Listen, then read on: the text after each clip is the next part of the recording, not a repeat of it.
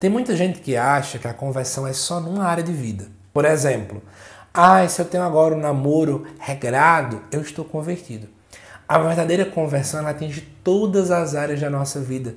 Ela busca, de fato, fazer o homem todo e todo o homem ser transformado pela graça de Deus.